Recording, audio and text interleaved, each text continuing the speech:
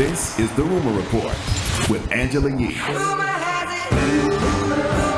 the Breakfast Club. So listen up. Well, NBA YoungBoy has boosted the numbers on Clubhouse. Now, Clubhouse was super popular during the pandemic, but the numbers have gone down. Mm-hmm. But according to academics, when YoungBoy did that appearance on Clubhouse and joined, and his entire fan base went on there, it went from being 60th on the App Store to being top five in a matter of days. It was Wow. number four Yeah, I mean, As a is, he has a lot of fans. He's the what? What the most streaming artist out there? On YouTube. Yes. Yeah, so and then yeah, he took his sense. videos off YouTube. So yeah, I mean, everybody wants to hear what he has to say, and he's on house arrest, so it's not like you're going to see him out and about doing too much. Mm-hmm. All right, now a Houston attorney has filed more than 1,500 cases on behalf of victims of the Astroworld Festival tragedy. So the total number of plaintiffs in relation to the 10 deaths and 300 injuries is nearly 2,800 as of this point. We told you yesterday that Travis Scott has requested that one of the claims against him, uh, Jack Enterprises and Cactus Jack, be dismissed. That is his way of getting started of separating himself from these lawsuits. And Power Book 2 Ghost has been renewed for a third season, so congratulations. Shout out to Fifty. I don't think anybody didn't think that was gonna happen. I mean, it's so popular and it's so damn good. So Mm-hmm. So they're going to start uh, shooting that in early 2022. Mhm. All right, Tristan Thompson, he wants to get a gag order to silence his alleged baby mother.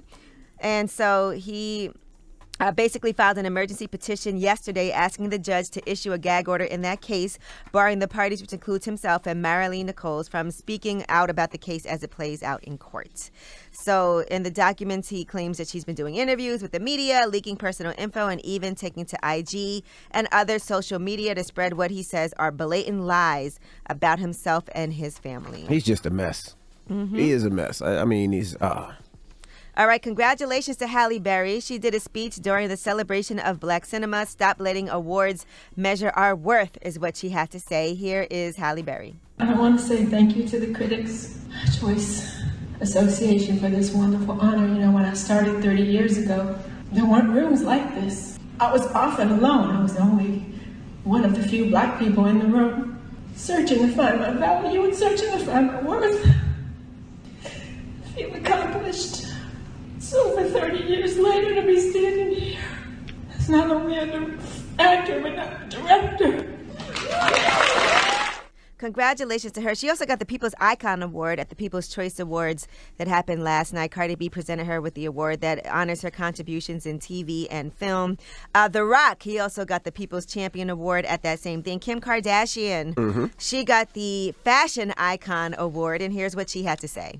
I stopped as a closet organizer and a stylist, so the fact that I'm winning a Fashion Icon Award, it's like a pinch me moment. Thank you to Zac Posen, who dressed me and took me to my first CFDA Awards, and so many amazing designers like Riccardo and Olivier that really believed in me and well probably were like talked into it by getting a call from Kanye. So thank you, um, you know, to Kanye even for really introducing me to the fashion world. you know, you forget about that. She started out as a closet organizer, organizing people's Paris closets in LA. That is crazy to where she is today. That is that's that's crazy.